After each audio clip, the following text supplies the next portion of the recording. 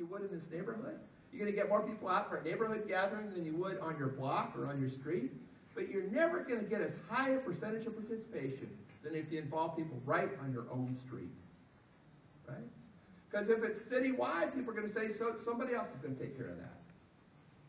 If it's on your block, who's going to do it if I don't step up? And if I don't get involved, my neighbor's going to know I'm not involved. I'm going to be trouble.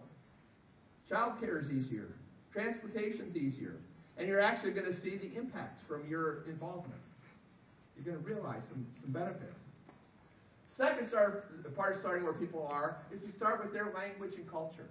Now, when I was doing community organizing in a very low-income multicultural community, I was really clear I need an interpreter, I need a translator.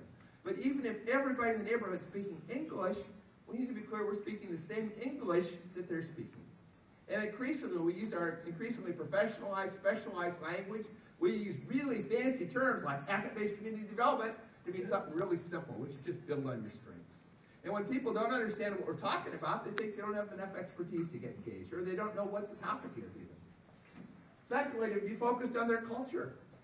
Again, the community I was organizing was very multicultural, It took me a long time to figure out why the Jewish community wasn't showing up to our annual meetings on Saturday.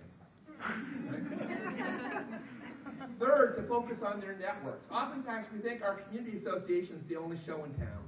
When I was organizing in Rainier Valley, I thought, man, I organized because they didn't have a community association, and they didn't have a voice with, with council. I, I got to organize people so they have a community association can have power. I had a lot of success, but it was a lot of work, going house to house, trying to recruit people. I finally woke up to the fact that everybody was already organized. They just didn't belong to a community association. And people only have so much time in their lives, and they have the relationships within their existing networks. And our associations tend to be one kind of people. In Seattle, our neighborhood associations tend to be whiter, more middle class, more homeowners, more middle aged than the neighborhood as a whole. They try to reach out, but it's hard because the leadership's been set, the agenda's set, the language is set, the relationships are set, so people who are different don't feel that comfortable coming in. So if we really want to get broad inclusive engagement, we need to identify what other networks are there in our neighborhood. And particularly, what are those networks that involve people who are underrepresented in our organization? So parent-teacher associations are a fantastic way to reach out. Faith-based organizations are a great way to reach a lot of people you wouldn't reach otherwise. Sporting groups, neighborhood watches, hobby groups. There are hundreds and hundreds of formal and informal associations in every neighborhood. So identifying what those are and starting to bring them together is incredibly powerful. Fourth, to focus on their passions, to start with their passions. Too often times we lead with what we're passionate about, or what we get paid to be passionate about, or what we got a grant to be passionate about. And then when nobody joins us, we say, God, people are apathetic. Nobody is apathetic. Everybody cares deeply about something. So if we really want to get people engaged, it's much better to start with a question than with an answer. What are your dreams for your family, for your community? What keeps you awake at night? If you can really tap into what people care most deeply about, give them a sense they can do something about it, they're much more likely to get involved than you spend a lot of time trying to convince them to care about what you care about. And then uh, fifth, start with their call. I learned this from a friend who's a duck hunter. My wife hates this story because she's a bird watcher. But it's the same principle.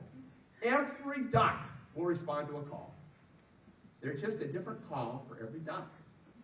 So there's one for the loons, and there's one for the coots, and there's one for the mallards, and one for the mergansers, and one for the wood ducks. Every duck will respond. My friend says, too often times we just sound the loon call, and we wonder why only loons show up at our meetings.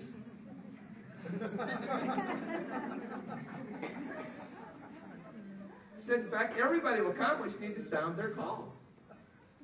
And it, too often times, the call we use is the meeting call. Mm-hmm. I didn't say that mating call. Mating call would be kind of interesting, right? but the meeting call. And for a lot of people, that is the worst call in the world. Yeah. People know they come to that first meeting, they're going to be in the sign-in sheet, and they're going to be sentenced to meetings for the rest of their lives. And a lot of people don't see results from meetings. One meeting just leads to another meeting, leads to another meeting, leads to another meeting. Nothing ever changes. And a lot of people are shy. They're told, look, if you really care about your community, you're going to come to our meetings. So they come. But they just sit there. They don't feel like they're contributing anything. That's how much they care to actually show up. So the most effective communities are the ones that use the full range of calls. For those people who feel shy, they may feel comfortable as a volunteer. Volunteering one-on-one as a tutor, as a mentor, making a difference in somebody's life. We all know the social call works. People come out for music, for food, for booze. And we shouldn't apologize because the purpose is to build relationships. My favorite call is a project call because with projects, unlike with meetings, it's a short-term commitment. There's always a result. There's a role for everybody, for young people, elders, people with disabilities, artists, construction workers, architects, everybody. And in the process, people build relationships. And once people build relationships, then they're more likely to come to some meetings because we need some meetings as well. Not nearly as many as we have, but we need some meetings. The problem is we always lead with the meetings and wonder why the same people keep showing up. We're often trying to engage community before we've built community. And those other calls are the best way to build community.